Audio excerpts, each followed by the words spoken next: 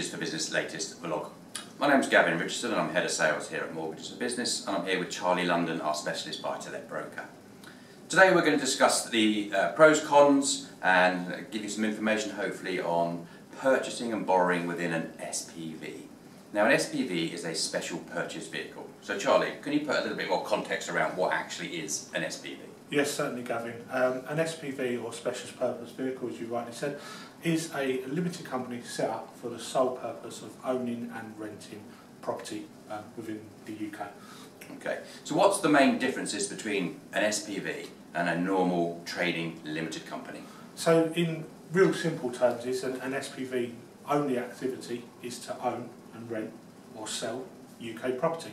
Therefore, it won't have wages, turnover, um, like a standard trading company. So that's its sole purpose. Okay. And from a lender's perspective, what would they kind of look for in terms of an application in a, in a limited company or an application in an SPV?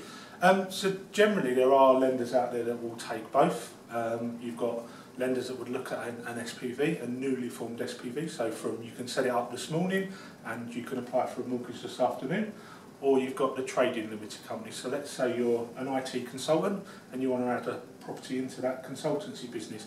That undertakes a bit more um, underwriting. Uh, they're going to be looking at two years accounts, etc., things, bits and pieces like that. But if you're looking just for an SPV, you can set it up today and move forward from there. Okay. So why would our clients think about purchasing through an SPV compared uh, to in a personal name or in any other entity, really? Yeah, so we get this question um, a lot, and essentially, um, I would say we're, we're mortgage experts, so our, our advice is going to be based on giving you the right mortgage product.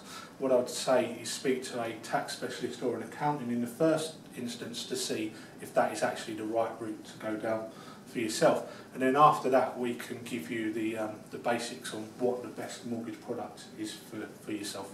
Okay, so realistically, take the specialist advice, make sure it's right for you. Everyone's circumstances are very different. Once that advice has been gathered, then we can support actually the right route to set up. Yeah, because it might not be the right time for the moment, or it might be, and then we can we can help you with a personal or via a limited company as well. Okay, and we get asked quite regularly, how do I actually set up an SPV? So is it complicated, simple, what's the process? Um, it's, it's generally fairly simple. Um, you go onto a Companies House website, you can set it up within about 15 minutes on there. The feedback I get from a lot of my customers is the hardest thing is, is determining the name of the company. Right. Um, if you do go online, there are lots of websites on there that say they will help set it up for you. But if I'm brutally honest, it's probably just a waste of money. You can go online and set it up yourself and go through the government website. Okay. And one of the important things is actually getting the right industry code, SIC code as yep. it's called. So eh, customers need to get that right, otherwise lenders will look at it very differently. So what, what SIC code should we be using? Yeah, so SIC code is standard, standard industrial class or standard industrial classification, um, which is easy for me to say, and they basically say what the company's going to trade on. The two main ones that the lenders use are 68209 and 68100. If you add either of those two or both of them on there, then all um, limited company lenders will be happy to accept those. Easy, thank you Charlie. Okay, and we get another question regularly in terms of you know advice that they may be received from the high street in terms of how much can I borrow through my limited company.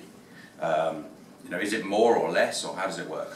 So generally speaking, if you're looking at a five-year fixed rate via a limited company, you can borrow more than in personal names.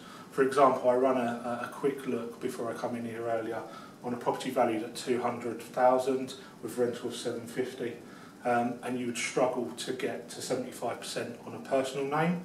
Um, but if you go via a limited company, um, we could quite easily get there to that to that level. And the rent required was circa 400, and you're getting 750.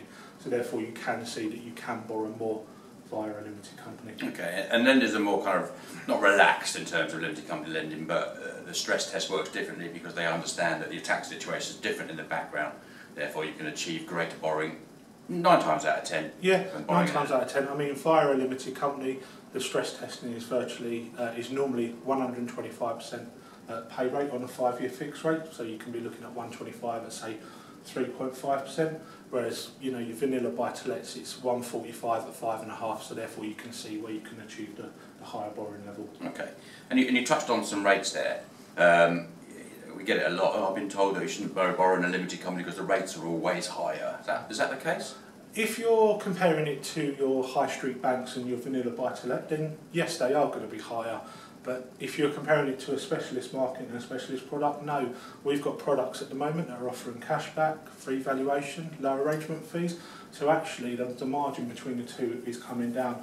With lenders such as the Mortgage Works coming into the limited company space as well, you know, it may come down further. Okay. And just to sort of top and tail that, we're looking at a number of lenders now where there is no difference at all between their personal and limited company rate. I think as more and more lenders come into the market, the competition is higher, therefore, you know, rates are almost equalising between personal and limited company. Yeah, most definitely. You're seeing a lot more of the specialist buy-to-let lenders who don't differentiate between a personal and a, a limited company application. Okay. And we touched there really about the size of the market now. I know, I know kind of three years ago there was just over a dozen kind of lenders in the market looking at limited company loans. What, what kind of appetite is there now in the market for lenders supporting our clients? Um, so we've got around 30 different lenders at the moment and there's somewhere in the region of sort of five to 600 products that we've got access to as well. So it's, you know, it's a growing market. Um, we've seen new lenders come on board this, this year and launch.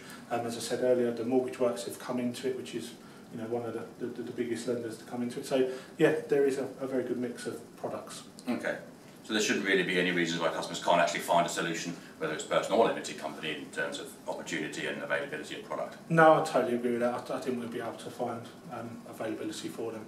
Okay, and something else we're seeing quite a lot of at the moment is, you know, some of our more uh, experienced landlords who've owned properties in a limited company quite some time don't have an issue, but those that have maybe had a portfolio in their personal names are now looking, you know, following the advice of their accountant to move, okay, their, their properties into a limited company. But that's not quite so simple, is it? No, and this is probably the question we get the, the most frequent is, can I just transfer my personally owned properties into my limited company? Essentially, yes, you can move them into your limited company, but it's treated as a sale and purchase transaction because the legal ownership is changing from Gavin Richardson, let's say, to G Richardson Property Holdings. Um, you will need to pay stamp duty on there, and there may also be capital gains to, to pay as well. So it is a sale and purchase transaction. Okay. So again, critical they take the professional advice before considering that type of option. Yeah.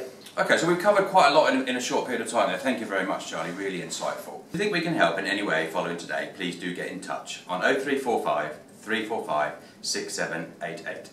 Email us at enquiry at mortgagesforbusiness.co.uk or visit our website on www.mortgagesforbusiness.co.uk.